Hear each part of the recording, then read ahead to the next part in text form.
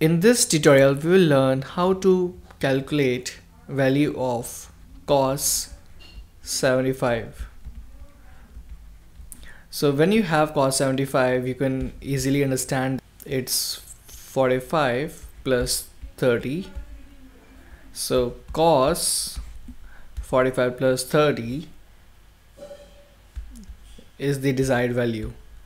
So for that we have to remember cos a plus b equals to cos a cos b minus sin a sin b. So we have cos a cos b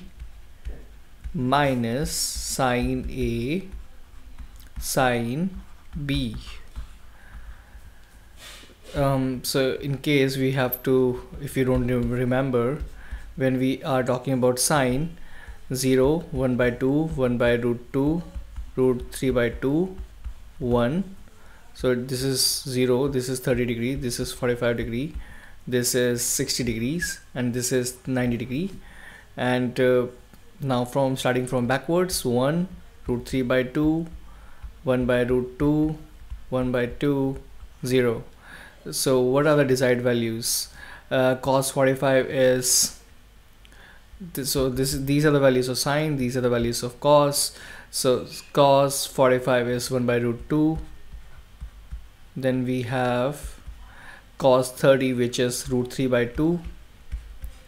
minus sine 45 which is 1 by under root 2 sine 30 which is 1 by 2 so we have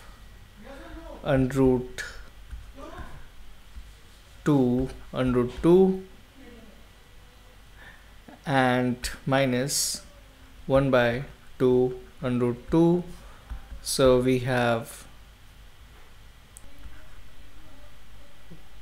under root 3 minus 1 upon 2 under root 2 which is the desired value. So in case you want to solve it further under root 3 minus 1 to root 2 into root 2 into root 2 which happens to be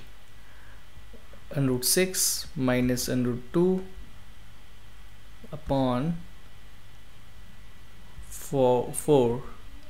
so it is suggested that you shouldn't have under root values in denominator. So you can just multiply under root value which is under root under root it is suggested that uh, you shouldn't have under root 2 values in denominator. So you can just multiply um, the numerator and denominator by the values which are under root. So in case uh, in this case we are multiplying it by under root 2 so the final value is under root 6 minus under root 2 upon 4 now suppose we have sine 75 and we want to calculate its value